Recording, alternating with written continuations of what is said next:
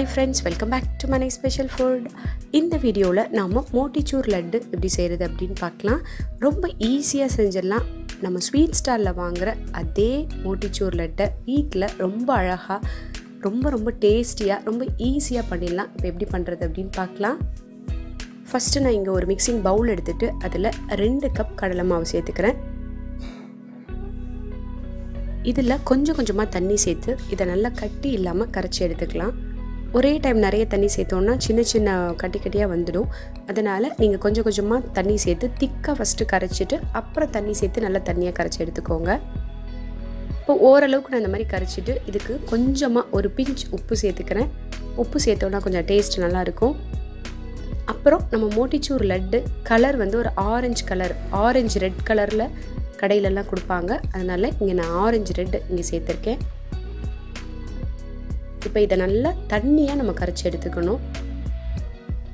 இந்த மாதிரி கரைச்சி எடுத்துக்கோங்க. ஏன்னா நம்ம ரொம்ப குட்டி குட்டி பாலாக செஞ்சு அப்புறம் லட்டு உருட்ட போகிறோம் இந்த அளவுக்கு கொஞ்சம் தண்ணியாக இருந்தால் தான் நமக்கு அது நல்லா விழுறதுக்கு கரெக்டாக இருக்கும்.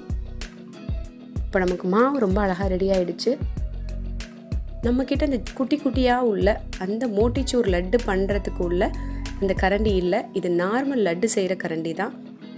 இதில் என்ன பண்ணலான்னா இந்த மாதிரி அலுமினியம் ஃபைல் ஷீட்டை ஃபுல்லாக அப்படி க்ளோஸ் பண்ணி கவர் பண்ணிடலாம் பேக் சைடை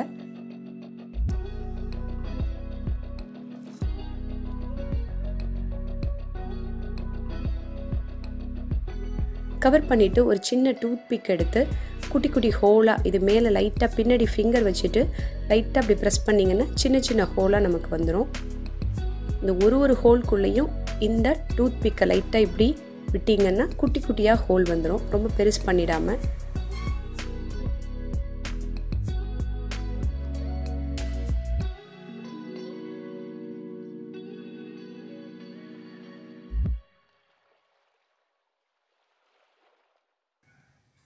இப்போ நமக்கு இந்த கரண்டி ரெடி ஆகிடுச்சு நான் இங்கே ஆயில் வச்சுருக்கேன். ஆயில் ஓரளவுக்கு சூடானதும் நம்ம இதை சேர்த்துக்கலாம். ஆயில் நல்லா சூடான பிறகு சேர்த்தோன்னா தான் அது உள்ளே மாவு போட்டதுமே நல்லா இது பண்ணி மேலே வரும். இல்லைன்னா ஒன்று மேலே ஒன்று விழுந்து ஷேப் வராமல் போயிடும். நீங்கள் ஆயில் சேர்க்குறதுக்கு முன்னாடி லைட்டாக மாவு தெளித்து பாருங்கள் இப்படி தெளித்தா உடனே மேலே வரணும். இப்போ நான் இந்த கரண்டி இங்கே வச்சுட்டு ஒரு கரண்டி மாவு மூந்தி இதில் ஊற்றி இந்த மாதிரி இப்படியே நல்லா தட்டி விடணும் நம்ம. தட்ட தட்ட குட்டி குட்டி உருண்டையாக நமக்கு கீழே விழும். அடுப்பு கொஞ்சம் மீடியம்லேருந்து கூடவே வச்சுக்கோங்க. அப்போ தான் நமக்கு அது உடனே பொறிஞ்சு மேலே வரணும். இது ரொம்ப நேரம் வேக வைக்க தேவையில்லை. இந்த மாதிரி தட்டி விட்ட உடனே இப்படி கலந்து விட்டுட்டு உடனே எடுத்துடலாம். ஏன்னா எல்லாமே சின்ன சின்ன பால் தான். சீக்கிரமே நமக்கு பொரிஞ்சிடும்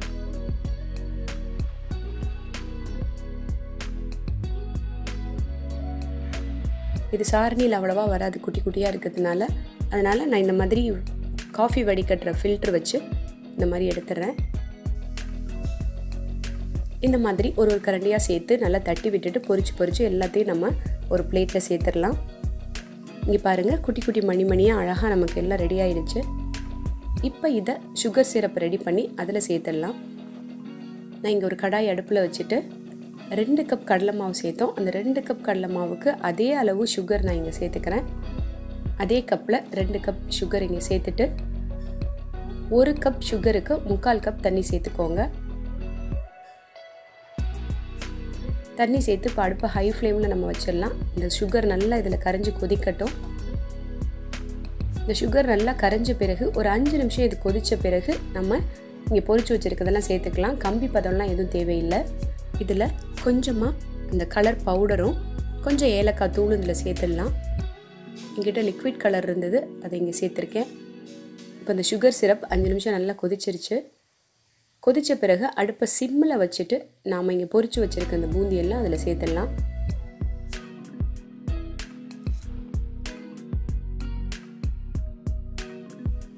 சேர்த்து எல்லாத்தையும் நல்லா கலந்து விடலாம். அடுப்பு சிம்மிலேயே இருக்கட்டும்.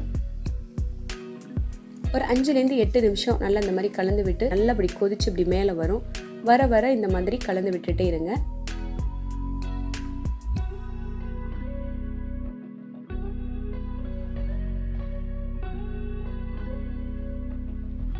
இப்போ பாருங்கள் நல்லா திக்காகி அந்த சுகர் சிரப்பெல்லாம் இதை அப்சர்வ் பண்ணிவிட்டு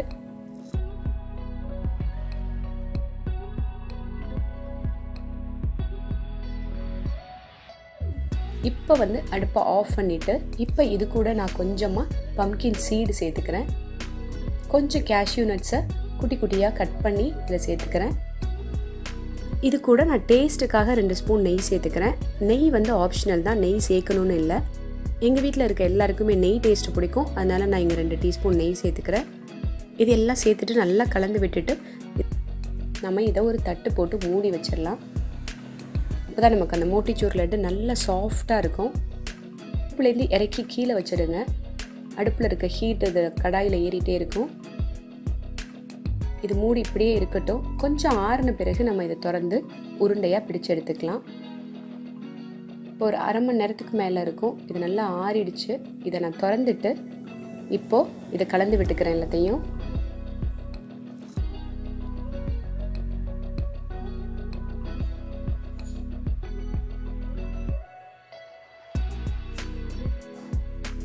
இப்போ நமக்கு நல்லா ஆறி நல்லா ஊறிட்டு சூப்பராக ரெடியாக இருக்குது இந்த பூந்தியெல்லாம். இப்போ இதை அழகாக நம்ம உருண்டையாக பிடிச்சு வச்சிடலாம்.